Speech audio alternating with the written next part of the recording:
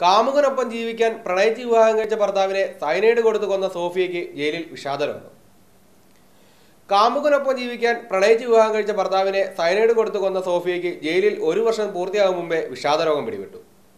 Parole പോലും ഇല്ലാതെ ഇരുപത്തിരണ്ട് വർഷത്തേക്കാണ് സോഫിയെ ശിക്ഷിച്ചിരിക്കുന്നത്.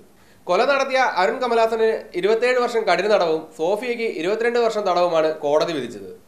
പതിനെട്ട് വർഷം കഴിയാതെ സോഫിയയ്ക്ക് പരോൾ പോലും ലഭിക്കില്ല. ഓസ്ട്രേലിയൻ ജയിലിൽ കഴിയുന്ന സോഫിയെ കാണാൻ ഇപ്പോൾ ബന്ധുക്കൾ പോലും എത്താറില്ല. അരുണിന്റെ അവസ്ഥയും വ്യത്യസ്തമല്ല. ഭാര്യ ബന്ധം വേർപെടുത്തി പോയി. ജയിലിൽ ഒറ്റപ്പെട്ട ജീവിതമാണ് നയിക്കുന്നത്. കാമുകനൊപ്പം ജീവിതം ആഘോഷിക്കാനിറങ്ങിയ സോഫിയ വിഷാദ രോഗത്തിന് അടിമയായെന്നാണ് ഇപ്പോൾ ലഭിക്കുന്ന വിവരങ്ങൾ. പലപ്പോഴും അസാധാരണ രീതിയിൽ പെരുമാറുന്ന സോഫിയ ഇപ്പോൾ ജയിലിൽ മനോരോഗ വിദഗ്ധന്റെ ചികിത്സയിലാണ്.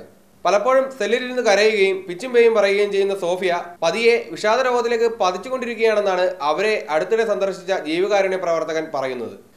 രണ്ടായിരത്തി പതിനഞ്ച് ഒക്ടോബർ പതിനാലിന് രാവിലെയായിരുന്നു പുനലൂർ സ്വദേശിയും യു എ എക്സ്ചേഞ്ച് ജീവനക്കാരനുമായിരുന്ന സാം എബ്രഹാമിനെ മെൽബണിലെ എപ്പിങ്ങിലുള്ള വസതിയിൽ മരിച്ച നിലയിൽ കണ്ടെത്തിയത്.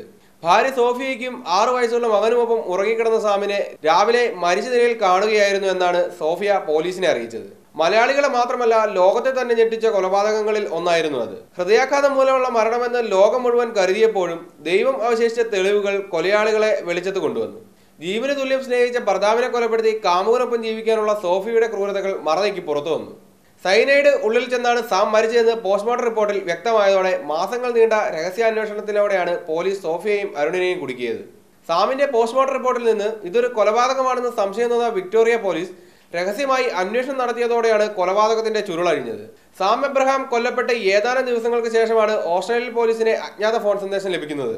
സോഫിയുടെ ചെയ്തികൾ നിരീക്ഷിച്ചാൽ കൊലയ്ക്ക് ഉത്തരം കണ്ടെത്താനാകുമെന്നായിരുന്നു അജ്ഞാത യുവതിയിൽ നിന്നും എത്തിയ ഫോൺ സന്ദേശം. ഭർത്താവ് മരിച്ച് ദിവസങ്ങൾ കഴിയും മുമ്പേ സോഫിയുടെ കാമുകനുമൊത്തുള്ള കറക്കവും മറ്റും അതോടെ ശ്രദ്ധയിൽപ്പെടുകയും ചെയ്തു. ഭർത്താവ് മരിച്ച ഒരു യുവതിയുടെ ശരീരഭാഷയും മാനസിക ഭാഷയും ആയിരുന്നില്ല സോഫിയയിൽ കണ്ടത്. ഭർത്താവിനെ കൊലപ്പെടുത്തിയ ശേഷം സുഖജീവിതം നയിക്കാമെന്ന സോഫിയുടെയും കാമുകൻ അരുൺ കമലാസന്റെയും പദ്ധതി ഇതോടെ തകരുകയായിരുന്നു. കൂടുതൽ വാർത്തകൾക്കും വിശദാംശങ്ങൾക്കുമായി മംഗളം ഡോട്ട് കോം സന്ദർശിക്കുക.